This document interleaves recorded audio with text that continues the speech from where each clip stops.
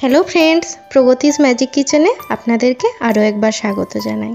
আজকে চলে এসেছি চটপাটা পনিরের পরাঠা নিয়ে। খুব ইজি এবং খুব তাড়াতাড়ি এটা হয়ে যায়। বাড়িতে কেবলমাত্র কয়েকটা উপকরণ থাকলে এটা আপনারা চটজলদি বানিয়ে নিতে পারেন। ব্রেকফাস্ট বা ডিনারে যে কোনো রকম চিকেন বা মাটনের রেসিপির সাথে এটা জাস্ট জমে যায়। তাহলে চলুন দেখে নেওয়া যাক এটা আমি কীভাবে বানাচ্ছি। আর ভিডিওটি প্রথম থেকে শেষ অবধি পুরোটা দেখবেন। ভালো লাগলে অবশ্যই লাইক করবেন, কমেন্টে জানাবেন কেমন লাগল। আর যাওয়ার আগে আমার চ্যানেলটি সাবস্ক্রাইব করতে ভুলবেন না। আর রেসিপিটি পছন্দ হলে আপনাদের বন্ধুদের সাথে অবশ্যই শেয়ার করবেন। প্রথমেই আমি একটা বড় বলে এক কাপ পরিমাণ ময়দা এবং এক কাপ পরিমাণ আটা নিয়ে নিচ্ছি। দুটোর পরিমাণ সমান। দিয়ে দিচ্ছি আধ চামচ নুন। এবং আধ চামচ গোটা জিরে। এগুলো শুকনো আমি ভালো করে মিশিয়ে নেব।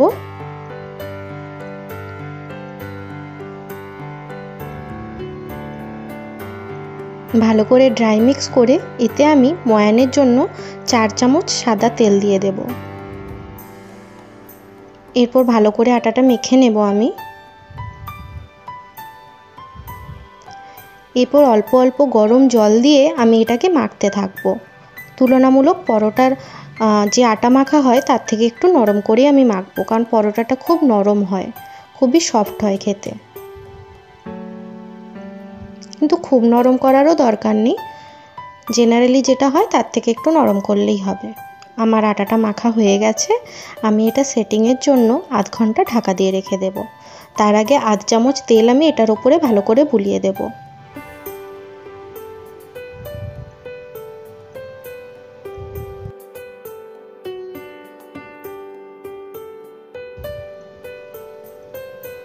ঢাকা দিয়ে দিলাম।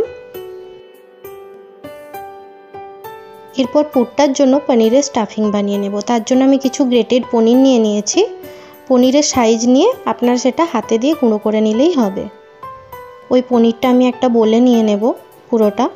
আমি প্রায় এখানে একশো গ্রামের মতো পনির নিয়েছি। এরপর ওতে দিয়ে দিচ্ছি আধ কাপ পেঁয়াজ কুচি, দুটো কাঁচা লঙ্কা কুচি আপনারা ঝাল ওয়াইজ দেবেন আর দিয়ে দিচ্ছি ওয়ান ফোর্থ কাপ ধনে পাতা কুচি। এগুলো একবার ভালো করে মিশিয়ে নেব হাতে দিয়ে।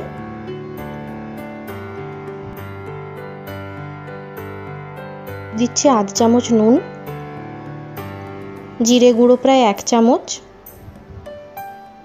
এক চামচ লাল লঙ্কার গুঁড়ো এবং এক ভর্তি চামচ আমচুর পাউডার ভালো করে মিশিয়ে নিচ্ছি।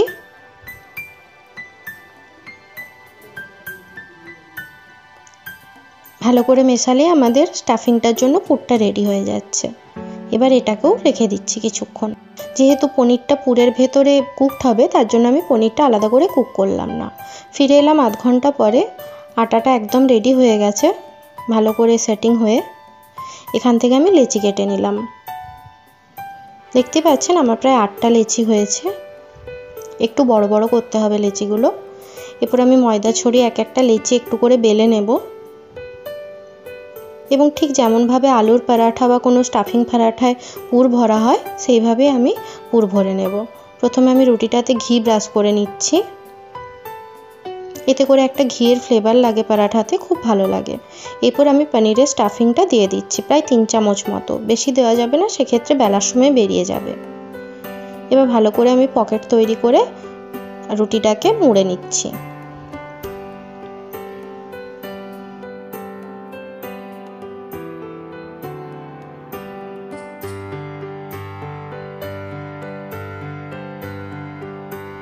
আবার একটু আটা ছড়িয়ে আমি এটাকে বেলে নেব।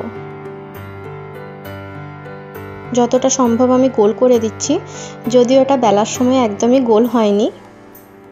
দেখতেই পাচ্ছেন আমার বেলা হয়ে গেছে, এবার আমি এটা সেঁকে নেব। একটু কড়া আঁচেই সেঁকতে হবে, কারণ যদি কম আঁচে আপনারা বেশিক্ষণ ধরে সেঁকেন, সেক্ষেত্রে পরাটাটা চিমড় হয়ে যাবে। তার জন্য বেশি আঁচ দিয়ে কম সময়ের মধ্যে এটাকে সেঁকে তুলতে হবে। দুপাশে প্রায় আধ চামচ করে তেল লাগিয়ে নেব আমি।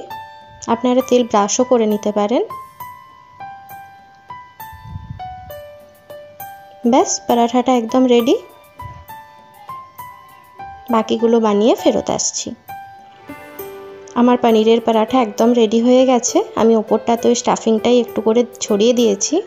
খেতে খুব চটপটা লাগে। আপনারা বাড়িতে অবশ্যই ট্রাই করুন। বাচ্চারা খেলে ঝালটা একটু বুঝে দেবেন। আশা করি সবার খুব খুব পছন্দ হবে এই পরাঠার রেসিপিটা আর পিওর ভেজ চাইলে আপনারা পেঁয়াজটা স্কিপ করবেন।